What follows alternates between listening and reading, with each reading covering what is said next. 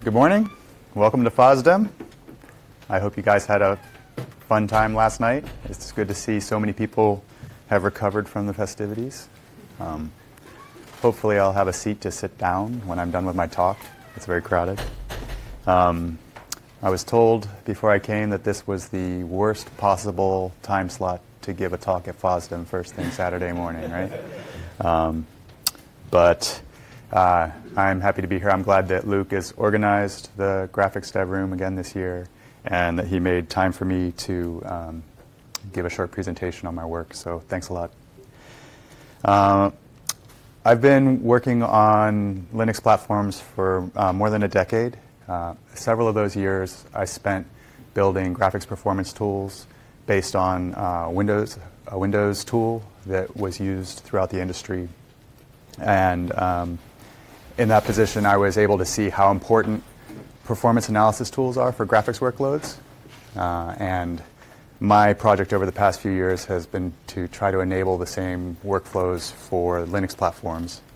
And um, I've also spent a lot of time automating the integration system for Mesa at Intel, um, which has helped Mesa's productivity and quality quite a bit. But this is really the project that I've been most interested in since I started with the Mesa team. So a little bit about GPU tools and why um, you don't really have very many good solutions in the Linux space. In general, when you have GPU tools, there's a, a graphics card vendor that understands it's very difficult to go and find out performance bottlenecks or what's happening on the GPU. And they've gone and funded some tools specific to their own hardware to help developers or their own driver, uh, driver team figure out what the performance profile is of specific applications. But they are very reluctant to go and enable the same capabilities for their competitors. And so if you do find a good GPU analysis tool, you'll often find it only works with um, an AMD um, GPU or an NVIDIA GPU. Um, some of the exceptions in the, in the Linux space are made by Microsoft or, or other um, entities that care more about um, cross-vendor functionality. Most of the tools are written for Windows and Linux as an afterthought.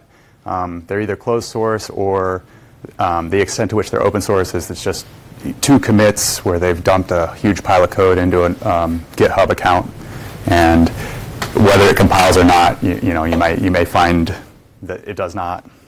So um, this is changing a little bit.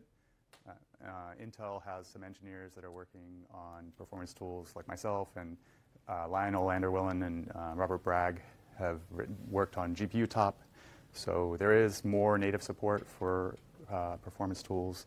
Um, RenderDoc is another example where um, Valve has gone and funded a developer to really in invest in, in, native Linux uh, graphics analysis tools. One thing about a lot of the tools is that tracing and retracing is often not reliable. This is, you know, can be because the tool was initially written for Windows DX11 or DX10 games. And then when they go to implement tracing for OpenGL, they find the complexity of the extensions makes it hard to really capture um, the workload that you want to investigate. And also, another reason why tracing is often unreliable is there's, just, there's not that many users. So you might have a tools team that goes and tries to build a tool, but unless you have lots of developers going and applying it and, look, and looking at different workloads, you're not going to discover the bugs in, in your tracing uh, system. So, and up until recently, a big barrier has been the support for GPU performance counters in Mesa. Uh, since Linux 4.13, that's enabled now for Intel GPUs, and AMD Performance Monitor is uh, available for some of their, their newer hardware as well. So now that Mesa is exposing these extensions, uh, there's a whole lot more that we can do. So uh, my tool is called Frame Retrace. It's built on top of API Trace. I chose API Trace because um, I think it's the most widely GPU, uh, widely used GPU analysis tool. There's a lot of people that um, use it for quality, uh, quality assurance to make sure that the frames retrace properly. And because it has a large number of users, there's often a lot of um, corner cases of, of tracing that it, they've gone and fixed. Um, it's a community supported project, so there's lots of people working on it. Uh, right now, Frame Retrace is just a directory and a branch of API Trace. Um, it's just a, a, UI that is built on top of it. Because API Trace is cross-platform, um, Frame Retrace is also cross-platform, so it will investigate OpenGL workloads on Windows just as well as it will on, on Linux, and that's an important capability for driver teams. Um, because if you have two different driver implementations for different platforms, you can compare the performance profile for the workloads and find gaps in your implementation or in the Windows implementation. Um, our counter support uh, begins with Haswell. Um, there were hardware counters prior to Haswell, but the architecture was different enough that the driver team decided not to enable them. Um, so your performance will be better with a newer computer anyways, right? So um, the Mesa driver team has been using this tool heavily to go and find uh, issues in their driver. And there's a whole set of examples of, of different special cases that, that they've missed. And we found basically by looking closely at each render in a frame and, and understanding what the bottleneck is.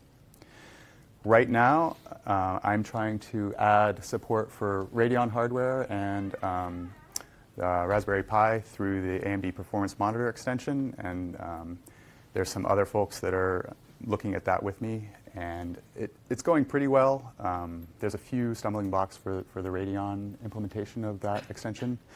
Uh, I think that cross-platform support in this tool is one of the main things that needs to be uh, finished before it's a good candidate for being upstreamed into API Trace.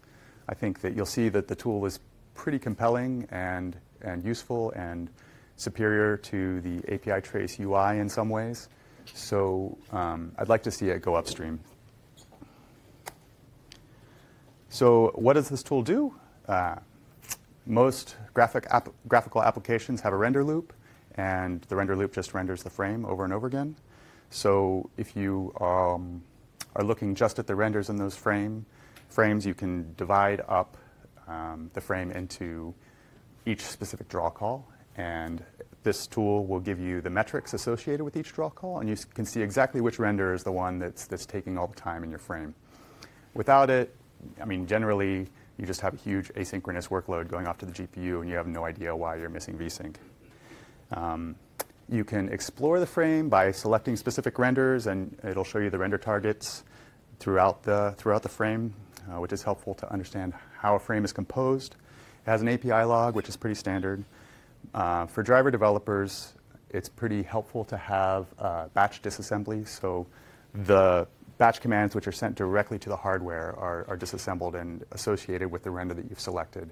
So this is a capability that, at least on Intel hardware, you have to, uh, up till now, you would have to dump hundreds of gigabytes of data for any kind of uh, meaningful frame and then try to sift through the data to try to find out exactly which render went wrong.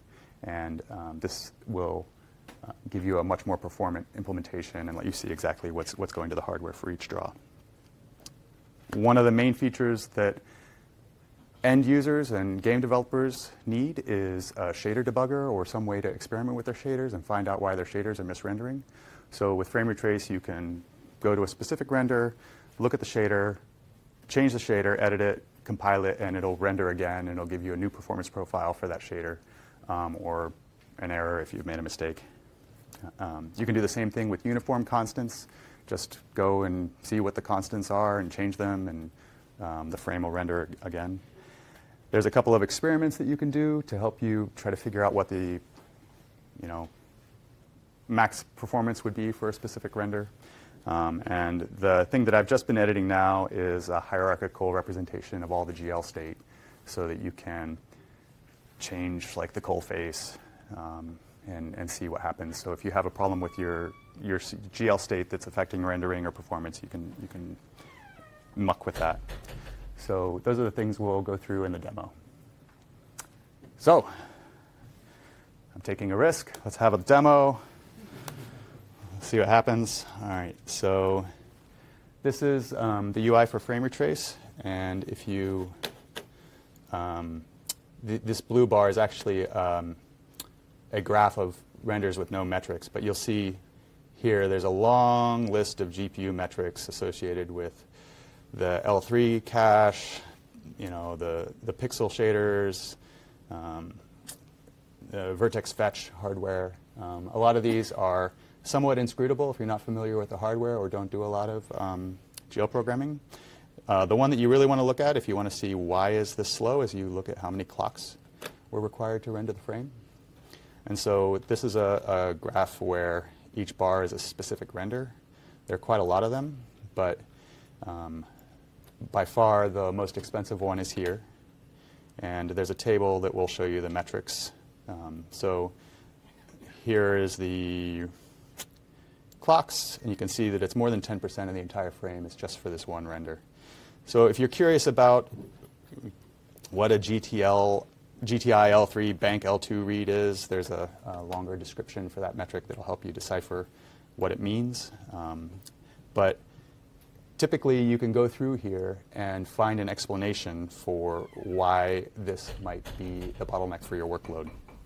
Uh, if you want to see the render target at this part in the frame, you'll see that our heroine is found the object of her desire and um, the rendering of this frame, if you want to see what's, what's actually being rendered, it's, it's rendering the whole screen. In the API calls, it's just drawing a couple of triangles for the, for the rect. So it's a little bit puzzling why this might be long, but there's also this GL memory bar barrier, which is probably something we'd be interested in looking at. Um, if you want to search for GL memory barrier, eh, you, you can look at the, the different renders which contain GL memory bar uh, barriers. So um, so if you wanted the experiments, if you wanted to see, okay, well, how, how fast would this be rendered if I just had a simple shader that just drew pink? You can select that, and you can see that the, um, the cost is much lower. We go to the shaders, and in the fragment shader, it's got the, you know, just a substituted fragment shader that just draws pink. So let's disable that and go back to the shaders. So we're now in the fragment shader again, and you can see that there's quite a long fragment shader. So it looks like it's processing all the all the pixels with some um, some effect, I guess. The vertex shader, if you look at it, it's a whole not a lot of nothing until you get to the very bottom, and and it just it does nothing. So um, we capture the intermediate representation and the static single assignment form that's output output by the Mesa driver. NIR is our new intermediate representation, and the SIMD8 is what's actually sent down to the hardware.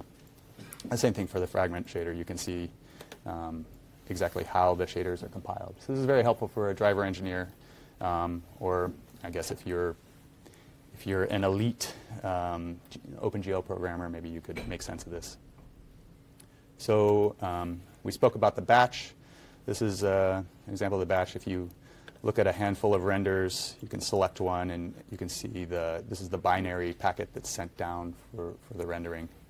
Um, again, more for driver developers. Um, all right, so let's go back to experiments. If we if we look more closely at the at these renders, let's look at the render target. You can see that. Um, if we stop at render, that means it's going to show the render target immediately after this render. If you advance through these renders and you can see that it becomes progressively blurrier, right? So there's a little blur and it's going to get even more blurrier on this render. And then finally, it's going to compose the, um, those, those blurry images based on the depth of each um, pixel. So in the background, there's a light here that's quite blurry. And if you look at the first render, it's, it's in sharp focus. So it's, it's a depth of field effect that they're achieving with these final renders. It's just one example of how you can experiment. Um, so this is an expensive pixel, um, but it may just be expensive, uh, expensive render. It may be expensive because there's quite a lot of pixels. So if you want to look for expensive per pixel um, metrics, you can graph on the second axis. So I'm just going to narrow the uh, the list of metrics that are displayed. So so now the width of each bar represents um, roughly how many pixels are um, drawn. And so you might look for um, narrow, tall bars um, representing very expensive renders. So let's disable this one to make them larger. So you might, you might focus in on this tiny um, shader here, which I guess because the way it's um, drawing this particular texture, um, it's not very many pixels at all, but it's quite expensive per pixel. All right, so um, what I want to do now is um, explore a little bit. So let's um, go back to um, standard bar and I'm going to look for vertices. Um, uh, maybe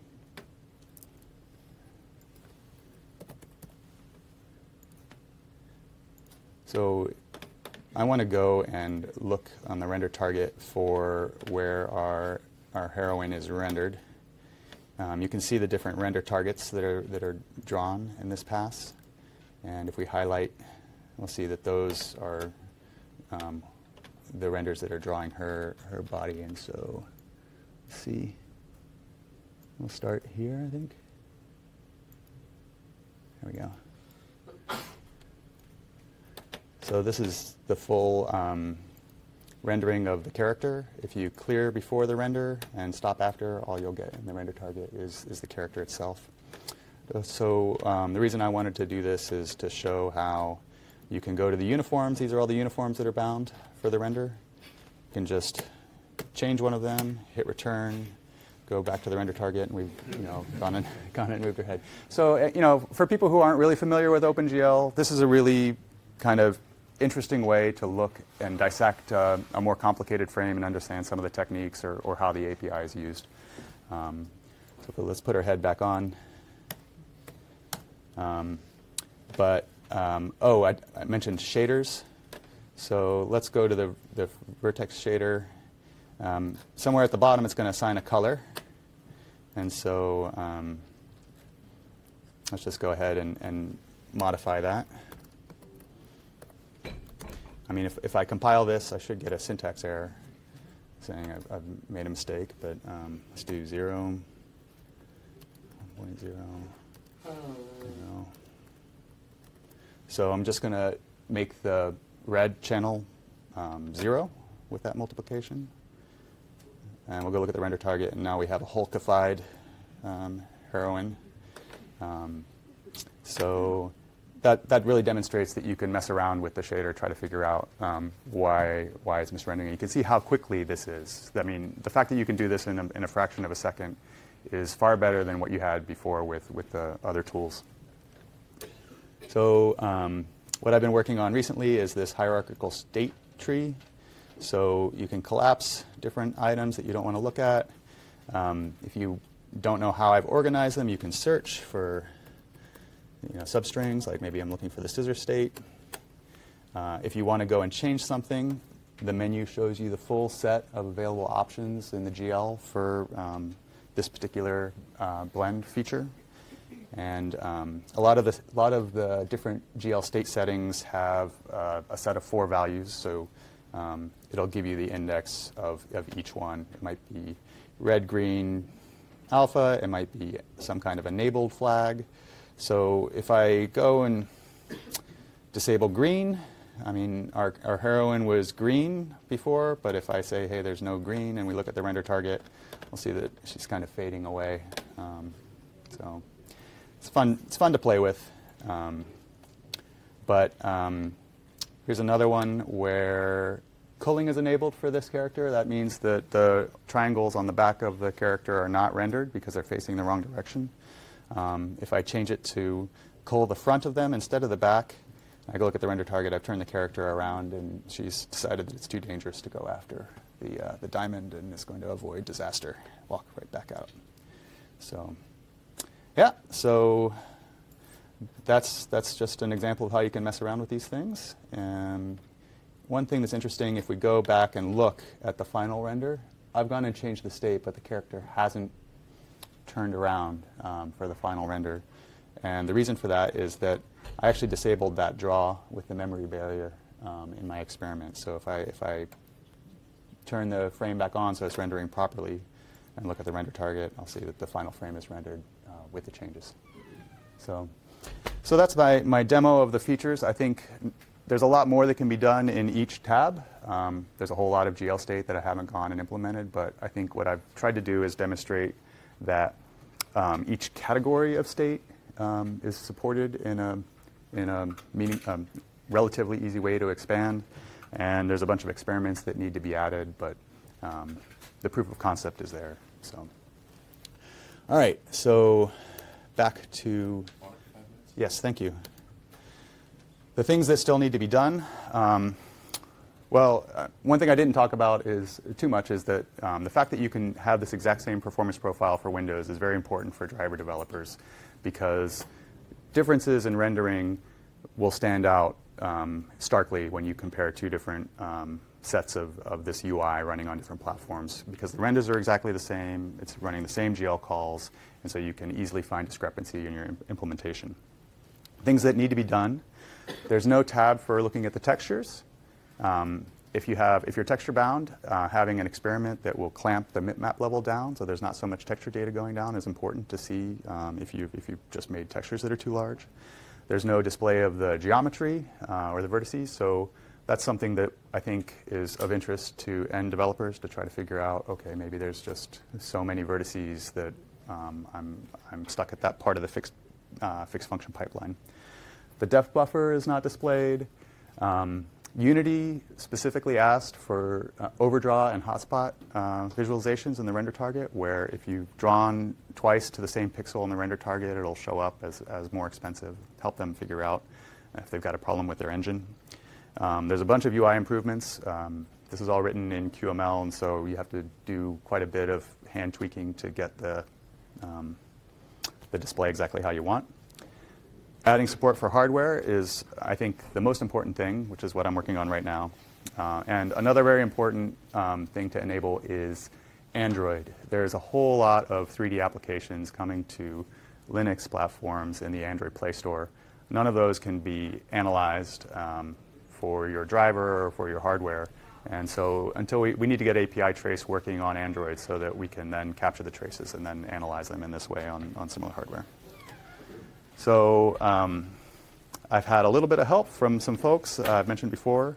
Um, Lionel uh, has helped me a lot with the performance analysis uh, metrics, and I think his tool, I wish it was being demoed at FOSDEM as well, because it's, it's very interesting. So if you find him here, get him to show you what he's done.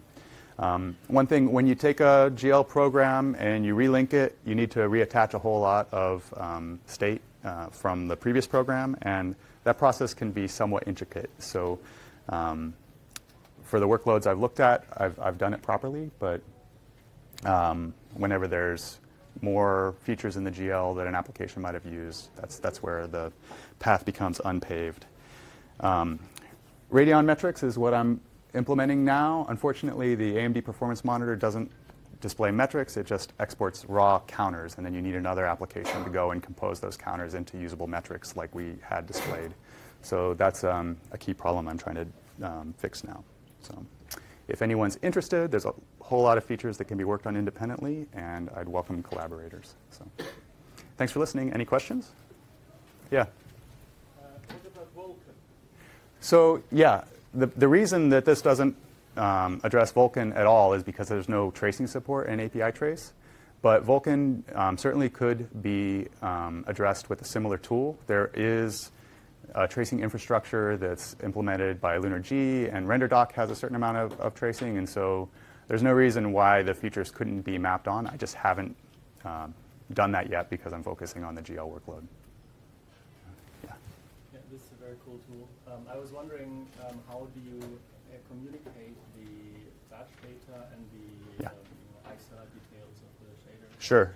So in the i965 driver, you can set an environment variable um, to dump the batch, and you can set an environment variable to dump the, um, the SIMD16. So we just capture that on standard out. the batch data is, like I said, it's so much. So there's a special patch that you apply to Mesa and recompile it to let you turn on and off that environment variable just before you begin your render so that you don't have to pay that penalty um, for the whole render. Yeah? Uh, Thank you very much for the presentation. Uh, Just a question. uh, In your demo, you have already data in series, but uh, where does that come from? It comes from uh, a program that you generate frame, or you put manually uh, fragment data? Uh, Hmm. So my question is, could you analyze arbitrary program